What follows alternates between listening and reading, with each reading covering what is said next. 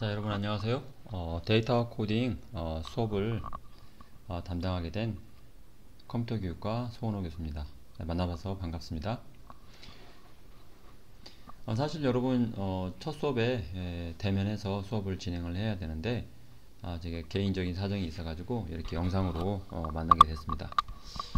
어, 먼저 제 소개하고 그 다음에 수업 수업 내용과 어떻게 수업을 진행하고 평가는 또 어떻게 할 것인가에 관한 내용을 이야기하도록 하게, 하겠습니다. 어, 먼저 사실 뭐 여러분은 보이지 않는 상태에서 제가 이렇게 영상으로 제 얼굴 보이면서 수업하는 게 굉장히 저도 어색하고 좀 이상하거든요. 그렇지만 뭐 그냥 편하게 하겠습니다. 어, 제 이름 얘기했고요. 그리고 저는 이제 어, 컴퓨터 공학을 전공을 했습니다. 학부, 뭐 석사, 박사 뭐 그렇게 됐고요. 석사하고 박사 할 때는 조금 이제 세, 세부적으로 네트워크라는 그런 부분을 어, 담당을 해서 어, 공부를 조금 더 했습니다. 현재는 이제 컴퓨터 교육과에서 아, 여기 밑에 보면 수업 과목들이 나와 있는데 이런 과목들을 제가 좀 담당을 하고 있습니다. 어, 쭉 보시면 알겠지만 좀 생소하기도 하고 뭐 그렇죠. 예. 자 그리고 어, 제가 여러분한테 교육을 할 때 좀 이제 중요시하는 부분이 있는데 예, 저 자신도 이거를 좀 항상 마음에 새기고 어, 수업을 하려고 그러고 여러분들도 그렇게 에, 공부를 했으면 좋겠다. 물론 뭐 공부하는 방법이 굉장히 다양한데 그 중에 뭐 한 가지를 선택한다 그러면 뭐 저는 이걸 선택할 거니까 참고로 어, 참고하시면 될 것 같아요.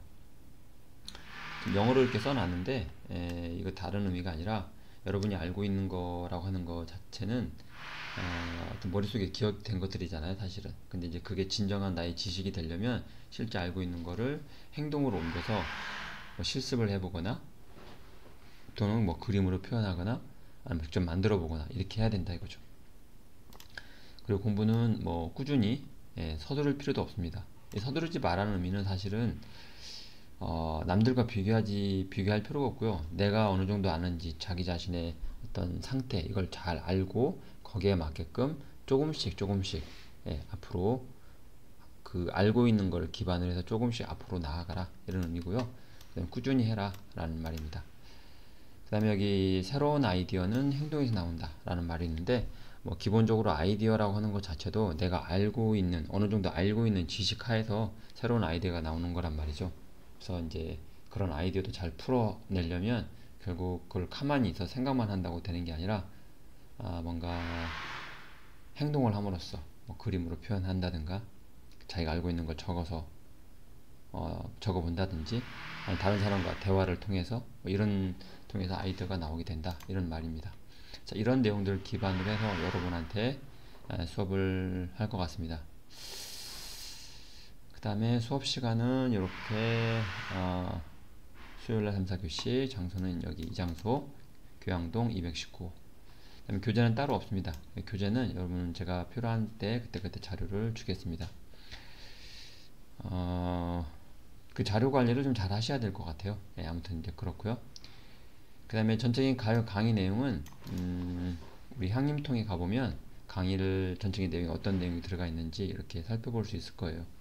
특히 지금 이 과목 같은 경우는 데이터와 코딩이기 때문에 어, 정리를 해보면 이 프로그래밍이라고 하는 도구, 이 프로그래밍이라는 도구를 통해서 우리가 데이터를 어떻게 다룰 수 있는지 그리고 그 데이터가 주어졌을 때 그 데이터에서 뭔가 어떤 의미 있는 내용들을 뽑아낼 때 프로그램이 어떤 도움을 줄 수 있는지 뭐 이런 것들을 다루게 될 겁니다.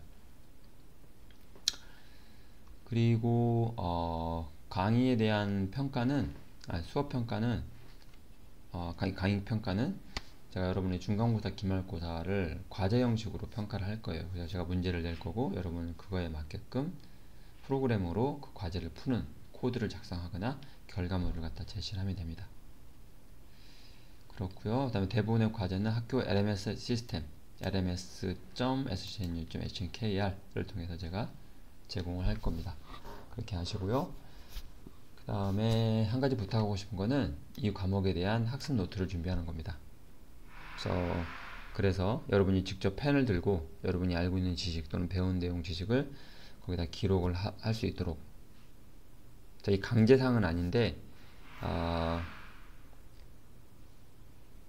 이 부분을 좀 강조를 하고 싶어요. 그 노트를 꼭 사서 여러분이 한 학기 동안 매 수업 시간에 했던 내용들을 정리하거나 이런 것들이 꾸준히 해보시면 좋겠어요. 그다음 또 하나는 여기 한글 영문 타자 연습하기. 예, 여기 사이트가 있으니까 꾸준히 한글과 영문 타자 연습, 특히 영문 타자 연습을 많이 아, 해서 이 컴퓨터를 사용하는데 좀 그 도구를 사용하는데 어떤 부자연스러움 이런 것들을 빨리 극복하는 게 좋습니다. 그래야면 어차피 우리가 컴퓨터를 가지고 사용을 해야 되는데 뭐 패드를 쓸 것도 아니고 스마트폰 터치를 이용해서 할 것이 아니기 때문에 여러분들이 이런 부분들은 아, 연습을 빨리 해서 꾸준히 해서 아, 꾸준히 하다 보면 어, 자기 자신도 모르게 성취감이 생겨요. 예, 그래서 그런 것들을 처음에는 뭐 이- 이거 왜 하라는 거야? 뭐 음, 재미도 없고 뭐 이렇게 느껴질 수 있지만 단순한 일을 계속 반복하다 보면 여러분이 알게 모르게 아, 아 조금씩 나아지고 있구나 이런 걸 느끼는 순간 굉장히 기분이 어, 좋아질 수가 있거든요. 아무튼 타자 연습을 꾸준히 하시기 바랍니다. 자 이렇게 제가 이제 전반적인 내용 저의 소개와 아, 강의에 대한 얘기를 했습니다. 물론 이 데이터와 코딩에서 중요한 거는 어, 제가 다른 교양 수업도 하지만 여기서는 특히 데이터를 어떻게 다루고 컴퓨터상에서 어떻게 표현을 하고 그걸 어떻게 처리할 것인가에 중점을 둘 겁니다. 자 그러다 보니까 약간의 통계 지식도 필요할 수도 있고요. 그 다음에 데이터 어떻게 내가 바라보는 대상을 데이터로 바꿀 것인가 이런 것들을 좀 고민을 해야 될 것 같습니다. 자, 이 정도 제가 소개하도록 하고요. 추가적으로 제가 없는 동안에 여러분들이 그 진행해야 될이 프로, 프로그램 코딩과 관련된 내용들은 제가 따로 동영상을 만들어 놨고 자료도 올려놨습니다. 자, 그거에 맞게끔 여러분 진행해 주시고 어, 어떻게 보면 명절 지나서 어, 보도록 하겠습니다. 어, 미리 관련된 내용을 좀 찾아보시면 더 좋겠고요. 예, 여기까지 진행하도록 하겠습니다.